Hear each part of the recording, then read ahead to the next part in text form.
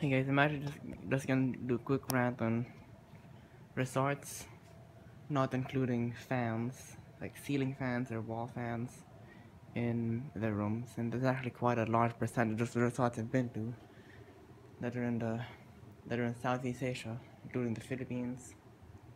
Actually, I think this might be one of the few resorts I've been to in in Southeast that's not in a that's out of the Philippines. There, there are a few other examples, but yeah. anyways, this resort has a carrier air conditioner. Like a full-size carrier air conditioner.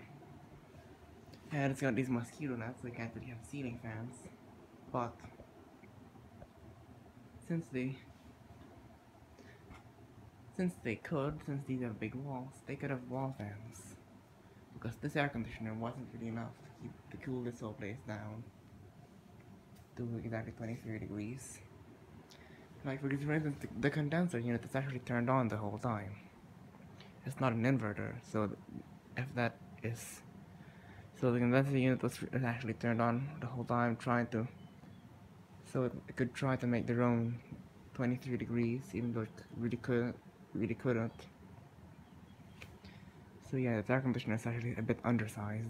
So if they had like a if we had like to select some wall fans around here, we, we could set it to 25 degrees and have these wall and have wall fans going, and, and it, would, it, it would feel nice and cool in here.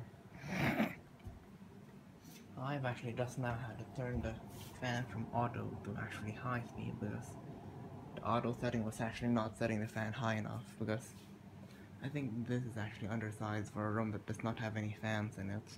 So yeah either put a bigger air conditioner or or do do the or do the more do the better option which is be eco, eco-friendly and have have few fans here and there. You could also have a pedestal fan, but they did not do that as well.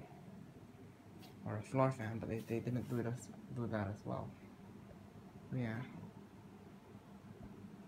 And actually, I think they'd be better off with two air conditioners, not just one, because when we're sleeping, that bed gets most of the cool air, and I'm over and I'm over there, and I'm pretty far away from the air conditioner, so I don't really have, don't really get that much cool air.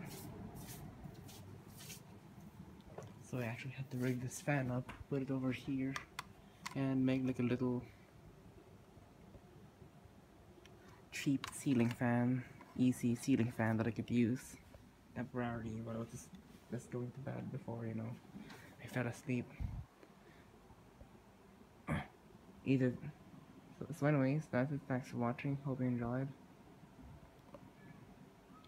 And if you're, and if you're just so happen to own a resort or something, this should give you a bit of, you know, feedback. Anyways, that's it. Thanks for watching.